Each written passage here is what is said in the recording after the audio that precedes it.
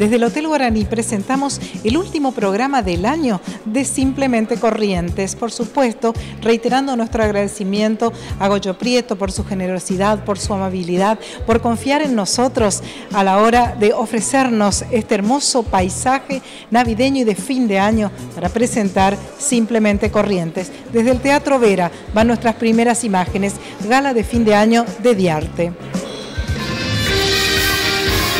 Bueno, la verdad tenemos una gran satisfacción por todas las críticas que hemos obtenido, todas muy satisfactorias, a todos los padres y el público que asisten normalmente al teatro a ver nuestros espectáculos. En el hall era felicitaciones, felicitaciones y más felicitaciones. Para quienes no estuvieron, ¿qué presentaron? Fábrica de Dulces. Fábrica de Dulces es una obra de ballet que Dionisio lo había creado hace siete años atrás. Nosotros en esta oportunidad, junto con el equipo artístico de Diarte, la transformamos a comedia musical, con lo más importante que es no hacerle perder la esencia de la obra.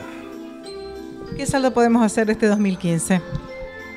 Mira, 10 sobre 10.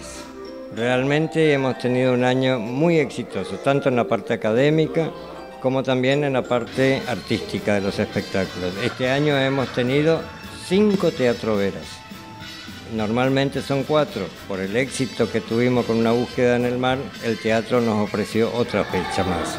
Entonces este año cinco. Eh, estuvimos en muchas escuelas, estuvimos acompañando a la cultura de la municipalidad en los eventos que ellos organizaron, también a los de la provincia.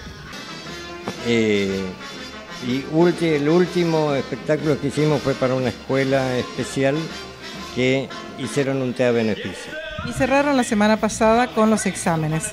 Sí, exactamente, como siempre, la maestra María Elena Markendorf, reconocida maestra examinadora y también jurada internacional de concursos, es la cabeza de la, la, mesa examinadora que viene y examina a los alumnos y a los profesores también porque los dos rinden. También eh, ya tenemos abierta la inscripción para el año 2016 y los esperamos acá en Diarte, siempre a la tarde, de 16 a 21 horas.